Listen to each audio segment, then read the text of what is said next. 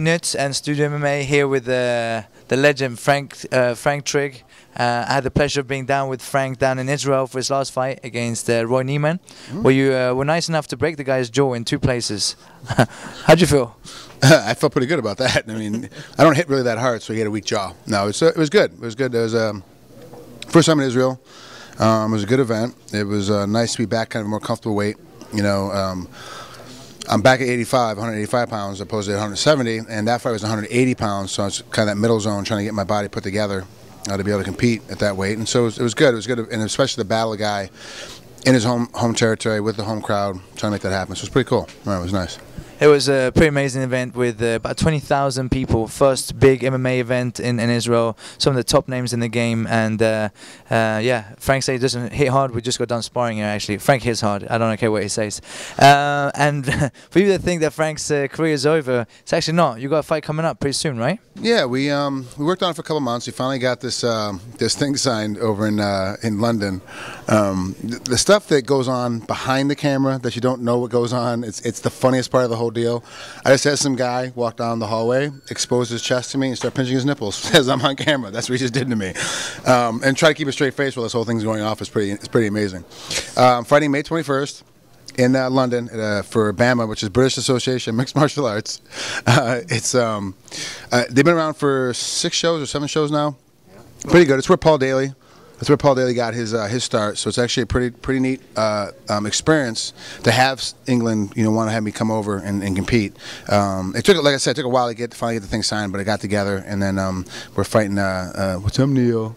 My grappling coach, Neil. Yeah, he's a complete tool. Don't worry about him. He is the one, by the way, behind this uh, behind the camera right here, uh, rubbing his nipples. It's just so you're getting, you know, you're getting exposed right now, mate. uh, you find a guy who's uh, he's got he's got decent punching power for sure, right? God, yeah, he's like he's 13 and three. John Phillips, he's 13 and three. Um, I think he's had 12 TKOs out of out of 13 wins, and he's lost one by he got knocked out one time. He got submitted once, and, he had, and lost the decision once. That's his three losses. So he's lost every way he can possibly lose, and then he's pretty much knocked everybody out that he beat. So it's it's a question of how is this really going to go on. I think his one.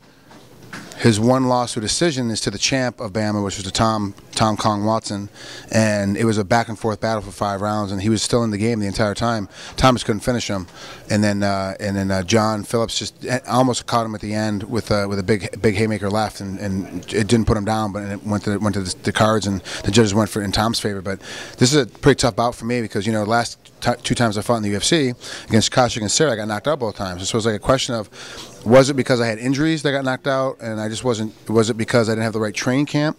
Even though it was at Extreme Couture's, I wasn't using the right guys at Extreme Couture's to prepare for my fight. You know, what's is it? Am is it really that I'm too old? Is it really that it's the wrong weight class? Like, what was the reasons for that kind of stuff? So I said, well, you know what? Let's you know, I, I beat, I fought a grappler in Roy Neiman. I beat him up with my hands. So now I'm going to fight a guy that has great hands. There's no way I can beat him with my hands. It's not possible. I don't have the skill to beat him with my hands. So I have to use my wrestling and my grappling skill to beat him up. So let's find out if I can still do it if we get knocked out, we're gonna have a different conversation coming home. That's for sure. You know, it's gonna be a whole, whole different kind of concept. But we definitely know we're trying to make a run back at the UFC. You know, everyone wants to be in the big leagues. I want to be back in the big leagues, and or Strikeforce. I mean, obviously now they're underneath one umbrella. Um, I'd love to be at the 185 pound division, either weight class. You know, and, and no, I'm not saying, hey, I'm, you know, I'll be the guy to beat Anderson Silva. I'm be the guy to go in and, you know, challenge, you know, challenge uh, for the for the title. And Strikeforce. It's not gonna. I'm not saying that. I'm saying I would like to be back in the big leagues, and hopefully I can get a couple wins in my belt, and and get the UFC to bring me back in, or Strikeforce to bring me in. Well, that's uh, this is definitely a, a, a, good test for you, and that's uh, pretty impressive. Uh, you're not 22 year, years old anymore, and we're not going to expose how old it is, but that's uh, that's it's uh, it's impressive. You're going in there and, and you're taking on a tough opponent. So you, you are serious. You, you want to get back into the UFC again. That's that's the goal. Yeah, that was the whole game plan. You know, it really is because ultimately I want to be a commentator when I when I when I retire from the sport. Who doesn't want to be a commentator in some aspect or some fashion? So you're trying to take my job away from me. Is that what you're saying? Well, not your job. I, I want to, you know, but I definitely like to work underneath the Zuffa umbrella. I mean, that's that's the goal, and the, the amazement is to be in there. Um, the also the goal is amazement from when I retire and when I go out, like Randy Couture is going out on his on his own his own merits when he wants to choose to go out.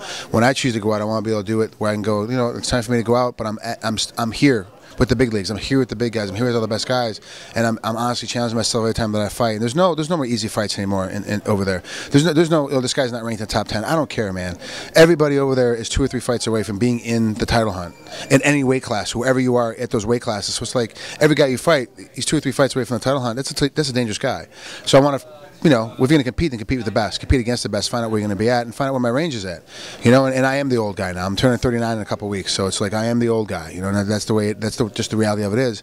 But in the last eight months, I've actually gotten better than I have in the last 10 years because of just going instead of instead of following Randy around the country, I started stepping in his footsteps and going, okay, well, let me stop and think about my training camp before I put the training camp together. Let me pick the guys that I want to have in my training camp and spar with. Let me go, no, let me just grab some guy. Oh, you're the next guy next to me, so let me grab you. No, let me grab the guys that mimic the style. Let me ask these guys, please show up for practice on time. Let me pay certain guys to come in and be there for me when I need them to be there every Tuesday, every Thursday, so I can kick him in the head and punch him in the head.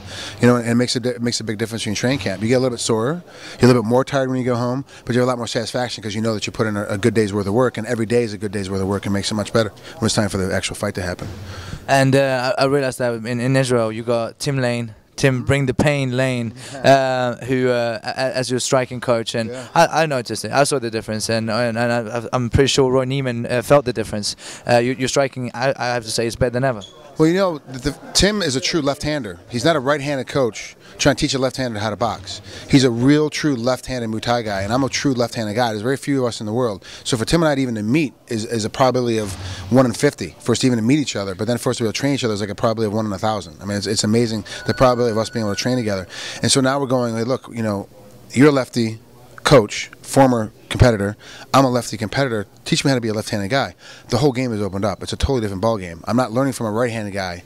What you know, the, what you have to do is a straight. You know, by the way, everyone says against the lefty you have to throw the straight right. That's the biggest thing. Is you throw these straight lefts against a righty, a, a lefty or righty will throw against a lefty a straight right. That's the game. That's not the game.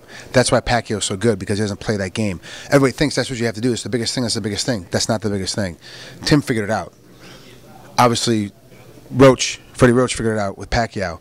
There's a secret that people aren't paying attention to. It's not really a secret because you see him do it every time he fights, but there's something in there that you're not paying attention to that, that lefties actually do against righties. It changed my philosophy, it changed my mindset. Now when I get to actually add my kicks in and my knees in, on top of that, it actually does make my hands better. And and now I've learned how to not to make every punch a freaking power punch and go out there and try to kill a guy with every punch. Four or five of my punches, you only get hit hard with two of them. The other three are punches to set up the other two you know, that in, in, in, the pattern it's going to knock you out. So it takes a lot less energy to do what I'm doing, and so it makes my punching better because I'm not like oh and you got exhausted. I was saying, it's like, oh wow, I just threw 15 punches, but only two of them really mattered. So who cares? You know, you kind of move on. So it's good. It's it, Tim's really opened up my eyes to how to be a real striker.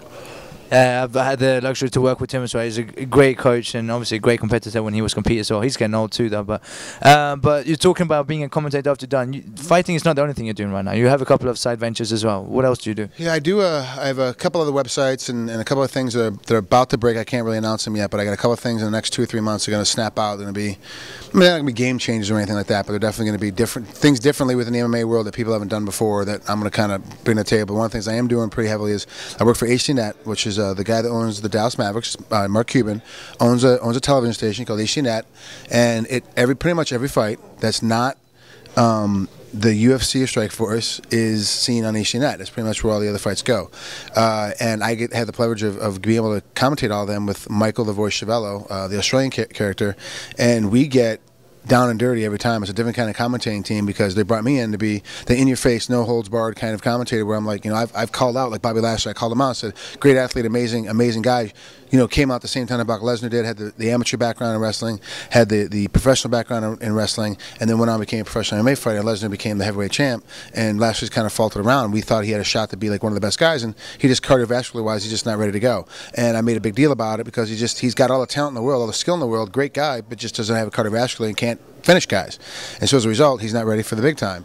And you know, I call like guys, my friends, like Phil Baroni. He's one of my one of my closest friends. And whenever he's he's on one of the cards I'm calling, I call him out. Like it's just like you just didn't do what you need to do to get ready for this fight, or you did. You know, I'm not scared to, to give him praise as well. But that's kind of why they hired me. And and the voice is if you haven't heard of the voice call a fight, and you, are missing something special. He's got more one-liners than you can ever imagine. He he finally pulled one the other day that had me just live on the air. I'm just laughing. I can't stop. I can't stop. Like I've broken down the broadcast because he's like he's getting uh, this guy's getting hit more often than a Facebook picture. I'm like, this, this, it just threw me off. Like, I, I didn't know what to do at that point. I just started laughing. I just had to stop. Like I was just, I had to shut my mic off and get walk away from the table. So he's really good. It's really fun to be able to work with him. So I'm pretty blessed too, because Andrew Simon, you know, and, and Guy Mezger over at HDNet said, you know, let's give Trigg a chance. When I when I got released from the UFC after the Serra fight, and so let's see what he can do. And they've kept me around for over a year now, and you know, hopefully they'll you know keep me around for a little bit longer. Yeah, for you that don't know, Frank Trigg doesn't normally pull in punches. When he has something to say, he has something to say. Well, there you have it. Frank Trigg is, is legitimately, legitimately back and wants to uh, uh, go for a run in the UFC again. Uh, fighting on, what date was in May? Uh, we're fighting uh, May 21st in uh, BAMMA, British Association of Mixed Martial Arts, at Wembley Stadium in London, England. Wembley Stadium. You know it doesn't get any bigger than that, right? Wembley Stadium. I, I, didn't know until you told me. No, I had no idea. Thanks. I'm not nervous at all already going over there. Now you're going to make it worse for me? Thanks. Appreciate it. Um, so, are you coming in wearing a Manchester United shirt, I hope? Um, you know what? I hadn't thought about that. Actually, I thought about that at all. I thought about coming in wearing wearing uh, um, uh, wearing a Canadian flag is what I thought I was going to do. No, I don't know what I'm going to do. I haven't, actually haven't thought that far ahead. I'm not a planner like that. Like, I don't know. Manchester United, maybe. You know, maybe. I, I like them. I mean, they're all right. If you really want to hear the crowd go nuts, put on a French flag or a German flag. That would, that would go down well. I actually I thought about wearing the I thought about wearing a French flag because, you know, even the French don't like the French. I mean, it's just one of those things. It's kind of weird. You know, got good food and good wine, but not much else. I'm teasing. I'm teasing. They don't pick on me yeah, I'm sure you've got some French fans out there as well. Um, May 21st in uh, London, Wembley Arena, BAMMA, Frank Trigg. Thank you very much. Uh, my pleasure. Thank you.